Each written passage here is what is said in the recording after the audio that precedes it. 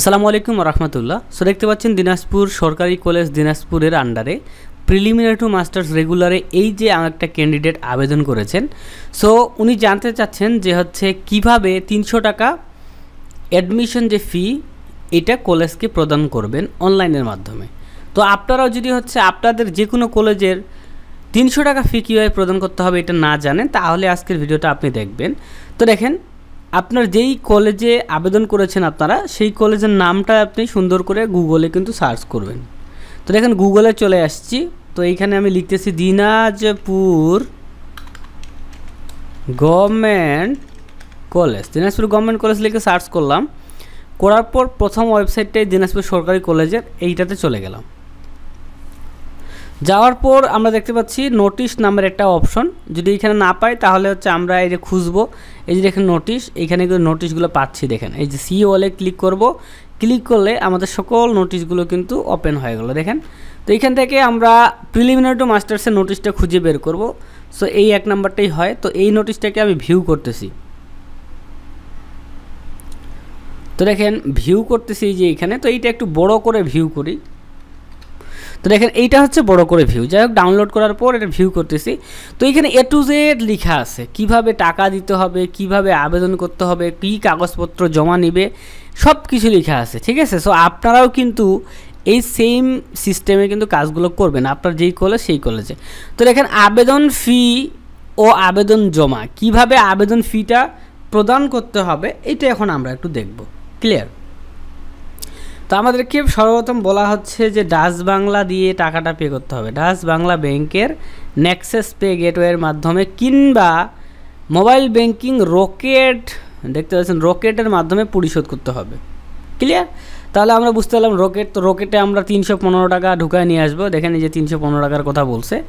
Clear এবং কি কি কাগজপত্র লাগবে? এইখানে কিন্তু এই যে খ নাম্বারে সব ডিটেইলে বলে দিছে হ্যাঁ? যে কী কী কাগজপত্র জমা দিতে হবে ডিপার্টমেন্টে তো যাই হোক, আমাদেরকে এখন মূল যেটা কাজ, সেটা হচ্ছে যে আমাদেরকে বলে দিছে যে দিনাজপুর সরকারি কলেজের ওয়েবসাইটে আসব।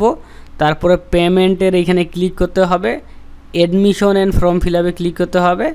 তারপরে প্রিলিমিনারি মাস্টার্স এই লেখাতে ক্লিক করতে হবে। তারপর যা যা চাইবে, এটা দিয়ে টাকাটা পে করতে হবে। তো আমরা টাকা পে করব, সমস্যা নাই। আমি এখন সুন্দর করে দিনাজপুর সরকারি কলেজের ওয়েবসাইটটাতে আবার যাব। তো দেখেন, আমি আবার লিখতেছি, দেখেন, দিনাজপুর সরকারি কলেজ।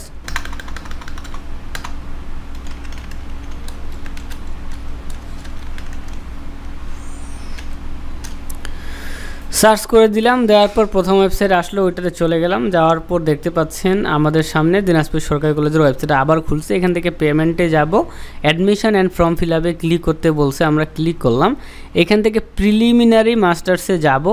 যাওয়ার পর একটু নিচে আসলে দেখতে পাচ্ছেন, এই যে দেখেন সিরিয়াল নাম্বার একটা অ্যাপ্লাই ফর অ্যাডমিশন তো এইখানে preliminary to masters apply for admission একুশ বাইশ লিখে আছে। এবং দেখেন এখানে যা লিখে থাকে থাকুক অ্যাপ্লাই নামে ক্লিক করতে হবে। ক্লিক করার পর এখানে আপনার সাত সংখ্যার অ্যাডমিশন রোল দিবেন। তো আমি এখানে দিচ্ছি। সাত সংখ্যার অ্যাডমিশন রোলটা দিলাম। পেমেন্ট মেথড এখানে ক্লিক করে আমি ডাচ বাংলা ব্যাংকের মাধ্যমে পে করব। এখানে ক্লিক করে দিলাম ওকে তারপর আই এম নোটে রোবটে ক্লিক করতে হবে। তারপর নেক্সট তো নেক্সটে ক্লিক করার পর আমাদেরকে বলা হচ্ছে কি, দেখেন যে তিনশোটা টাকা আমাদের কাছ থেকে কাটে নিবে। তো নিক সমস্যা নেই। তো এখানে বলা হচ্ছে যে ক্যান্ডিডেটের ফুল নাম লাগবে ইংরেজিতে। তো এইখানে ইংরেজিতে নামটা দিতে হবে, বড় হাতের অক্ষরে দিবেন, ভালো হবে। এবং বাংলাতে কিন্তু এইখানে দিতে হবে নামটা, ঠিক আছে? এবং কন্ট্যাক্ট নাম্বার মানে স্টুডেন্টের মোবাইল নাম্বারটা দিতে হবে।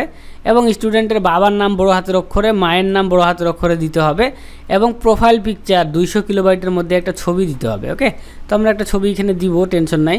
এবং ডেট অফ বার্থ মানে জন্ম তারিখটা এখানে দিতে হবে এবং স্থায়ী ঠিকানাটা দিতে হবে। তো আমি এগুলো সব কিছু আমার হচ্ছে নিজের ফিল আপ করে নিব। নেওয়ার পর এই যে সেভ বাটনে ক্লিক করে কি আসতেছে আপনাদেরকে আমি দেখাই দিব ওকে সো আমার সকল তথ্য বসানো ওকে একদম আমি ভালোভাবে চেক করে নিয়েছি।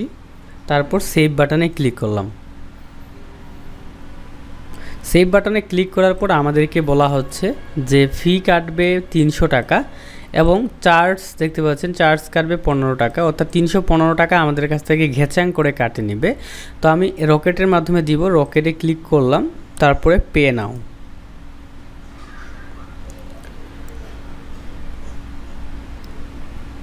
সো পে নাওতে ক্লিক করার পর আমাদেরকে বলা হচ্ছে রকেট নাম্বারটি দিতে হবে। তো আমি এইখানে আমার যে রকেট নাম্বারটি রয়েছে, সেই রকেট নাম্বারটি দিয়ে দিচ্ছি।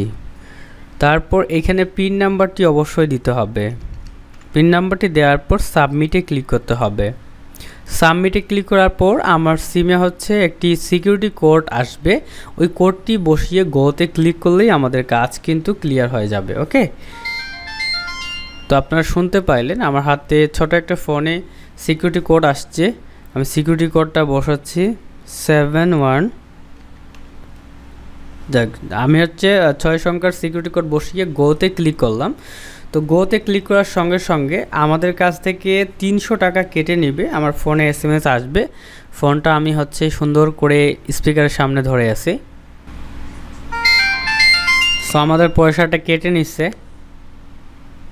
তিনশো পনেরো টাকা আমাদের পয়সাটা কেটে নিচ্ছে ওকে তো দেখতে পাচ্ছেন, বলা হচ্ছে congratulation your application successfully complete you can print your application from the link এইখানে আমাদেরকে ক্লিক করতে হবে।